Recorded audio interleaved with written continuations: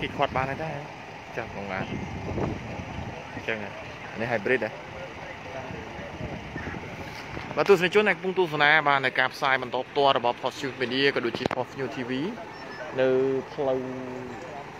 R6 បាទបាទសង្កាត់ស្រះចកបាក់ខណ្ឌដូនពេញបាទរាជធានីភ្នំពេញបាទដែលប្រភេទរថយន្តកាមេរី Hybrid មួយគ្រឿងបានបើកមុខអ្នក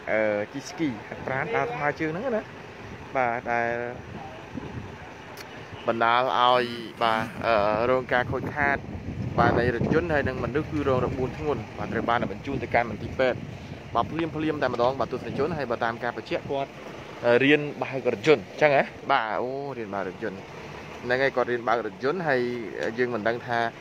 គាត់បើករបៀបម៉េចឬមួយក៏យ៉ាងម៉េចណាតែធ្វើឲ្យគាត់នឹងគឺមុខ អ្នកថ្មើរជើងបណ្ដាលរងរបួសធ្ងន់ហើយរថយន្តរបស់គាត់គឺជ្រុលចង្កូតឡើងមកលើខឿនរបងនេះបណ្ដាលឲ្យបាទរងការខូចខាតនៃរថយន្តបាទយ៉ាងធ្ងន់ធ្ងរតែម្ដងដែលទីតាំងនេះគឺនៅតាមបណ្ដោយផ្លូវ A6 បាទស្ថិតនៅសង្កាត់ស្រះចកខណ្ឌដូនពេញបាទរាជធានីភ្នំពេញឥឡូវនេះគឺបាទស្នងការនគរបាលក្រុងបានធ្វើការបាទស្ទូចយករថយន្តរបស់គាត់ទៅរក្សាទុកដើម្បីរងចាំការដោះស្រាយហើយខ្ញុំសូមបញ្ជាក់ថារថយន្តកាមេរី Hybrid នេះដែលមានផ្លាកលេខ បាទភ្នំពេញ 2AC បាទ82និង83ភ្នំពេញ 2AC 82និង83បាទរងការខូចខាត បាទយ៉ាងធ្ងន់ធ្ងរដែរបាទផ្នែកខាងខាងមុខណាខាងមុខគឺកពិតអឺបែកកង់ហើយបើនេះបែកកង់បាទបែកកង់នៅផ្នែកខាងមុខនេះធ្ងន់ធ្ងរដែរខាងក្រោយក៏បែកទេណាបើណាបាទដោយសារតែគាត់រៀនបើកឡានយើងមិនដឹងថា គាត់រៀនយ៉ាងម៉េចណាបាទសាលាបើកបរមិនទៅរៀនបាទអាចតែមានឡានខ្លួនឯងមករៀនអញ្ចឹងអត់កើតទេបាទងាប់គេងាប់ឯងគាត់គិតថាផ្លូវនេះរៀងស្រឡះឬមួយក៏ស្ងាត់អីចឹងទៅតនីក៏មកសាកបងការបើកបររៀនបើកឡានដោយខ្លួនឯងបាទទីបំផុតគឺគាត់មិនអាចបាទអឺពីព្រោះបើសិនណាជាគាត់បើកអត់មានបានបើកបរនោះគឺគាត់ ត្រូវប្រឈមជាមួយនឹងផ្លូវច្បាប់ទៀតអញ្ចឹងគឺក្នុងរូបភាពខាងលើនេះគឺដូចទស្សនិកជនបានឃើញហើយបាទពាក់ព័ន្ធទៅនឹងការរៀនបើកបររថយន្តអីនេះគឺបើសិនណាជាលោកអ្នកគួរតែទៅរកសាលារៀនបង្រៀនបើកបរត្រឹមត្រូវណាបាទมันអាចរៀនដោយខ្លួនឯងបានទេបាទរៀនដោយខ្លួនឯងនេះគឺជារឿងមួយដែលអាចប្រឈមជាមួយនឹងគ្រោះថ្នាក់អញ្ចឹងបានគេឲ្យទៅប្រឡងនៅសាលាបើកបរដែលមានការទទួលស្គាល់ពីក្រសួងសាធារណការពាក់ព័ន្ធទៅនឹង ដៃចង្កូតរបស់យើងនឹងឲ្យវាមានភាពនឹងនៅស្មារតីទ្រឹស្ដីក្នុងការអនុវត្តបើថាយើងរៀនខ្លួនឯងអាហ្នឹងយើងរៀនតែបើកទេបើយើងមានឡានខ្លួនឯងអាហ្នឹងបើកលើដីវាលអាហ្នឹងនិយាយទៅណាបើតែបើយើងបើកនៅលើទីសាធារណៈអាហ្នឹងគឺផ្លូវសាធារណៈហ្នឹងគឺអ្វីដែលសោកស្ដាយហ្នឹងគឺការប្រឈមនៃការគ្រោះថ្នាក់បាទធ្ងន់ធ្ងរខ្លាំងបាទទុនជនណាបាទការប្រឈមនឹងគ្រោះថ្នាក់ខ្លាំងបាទ បាទប្រិមត្តទូទស្សនិកជនដែលកំពុងទស្សនាបាទរូបភាពដែលលោកអ្នកបានឃើញនៅក្នុងការ live បន្តផ្ទាល់របស់យើងនេះគឺជាទស្សនវិជ្ជានៃរថយន្តបាទកាមេរី hybrid ដែលមានផ្លាកលេខភ្នំពេញ 2AC 82និង83បាទត្រូវបានចរាចរណ៍នៃស្នងការនគរបាលរាជធានីភ្នំពេញបាទក្រុងណាបាទលោកបានស្ទូចយកទៅដើម្បីយកទៅរក្សាទុកហើយបាទដើម្បីរងចាំការដោះស្រាយ តាមនីតិវិធីបន្តទៀតដោយជនរងគ្រោះដែលថ្មើរជើងហើយបន្តការបញ្ជាក់ថាគាត់ជិះស្គីនេះគឺបណ្ដាលឲ្យរងរបួសធ្ងន់ត្រូវបានបញ្ជូនទៅកាន់មន្ទីរពេទ្យបាទភ្លាមភ្លាមហើយនៅសល់តែរថយន្តទេហើយរថយន្តខាងលើនេះគឺត្រូវបានស្ទូចឡើងដាក់ទៅលើរថយន្តស្នងការនគរបាលក្រុងយកទៅរក្សាទុកជាបណ្ដោះអាសន្ន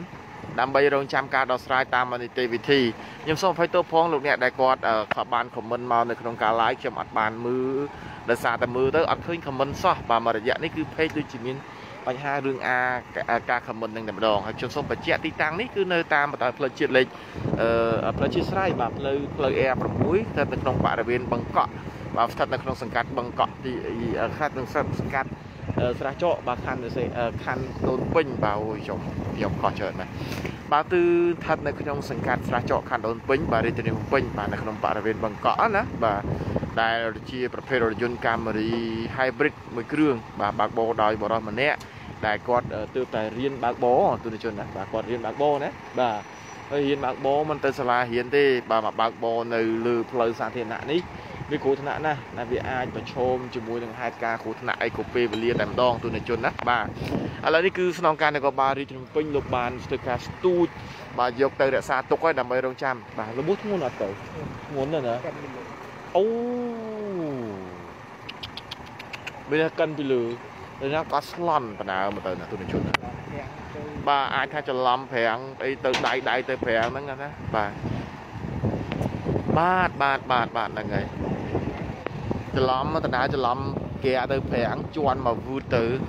ស្លន់អានេះគេហៅថាអូហ៊ានបើកម្នាក់ឯងណា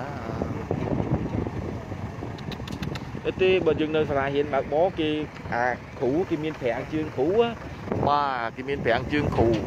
បើយើងបើកគេខលល4គេជន់ប្រាំងតែបើថានៅនេះអត់ទេទូនជនណាគឺរងគ្រោះខ្លាំងណា